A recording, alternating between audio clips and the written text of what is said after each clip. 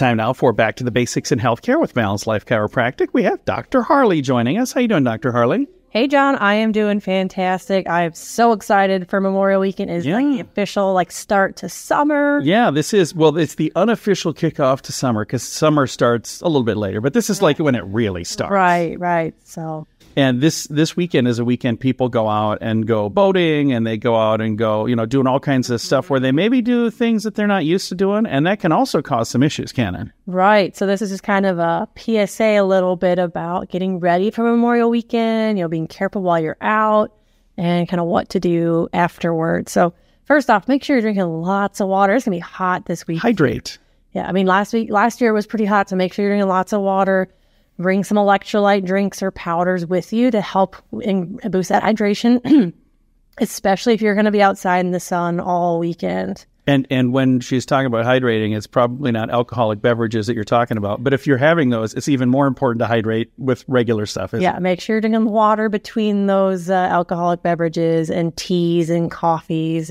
Because you're like, oh, I'm drinking lots of juice, tea, coffee, all these. Like, that's not water, though. Those things can be dehydrating. So, yeah, as we start getting into summer, this is always like the weekend that if it's really hot, we're not really thinking about how hot it is. So make sure we're drinking, like I said, and I keep talking about make sure you're drinking lots and lots and lots and lots and lots of water.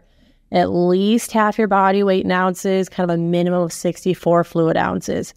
Also go by, you know, pee color.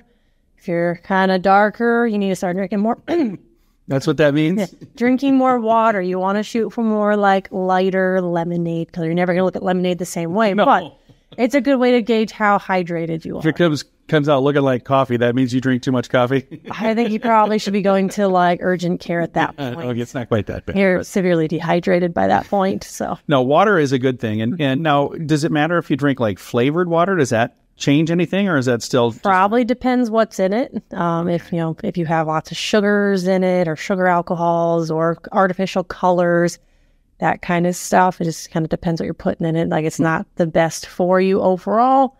Your best bet is to really just drink pure, Water. clean water. just water? yes, Water with water added, and then maybe some more water.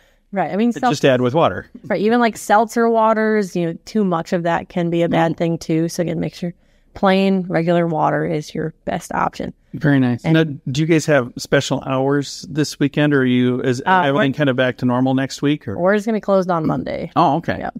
Well, I was gonna say I figured, yeah, Memorial Day. So mm-hmm. So yeah, if you're out and about and you're feeling sore, achy, you know, make sure like I keep going back to the water, but it's, a big thing to make sure you're drinking plenty and plenty of water. Last thing you want is heat exhaustion or heat stroke because those are you know you're more likely to get that in the future if you have if that happens to you. Oh, I didn't realize that. And I suppose if you're out in the sun, maybe stay out of the sun a little bit too to, to Right, kind of finding shade, wearing Yeah. like loose layers to cover up when you can. Letting telling my wife to let me take a break every once in a while from all the work I'm doing. She she makes you work a lot. She does. Actually, it's my choice too.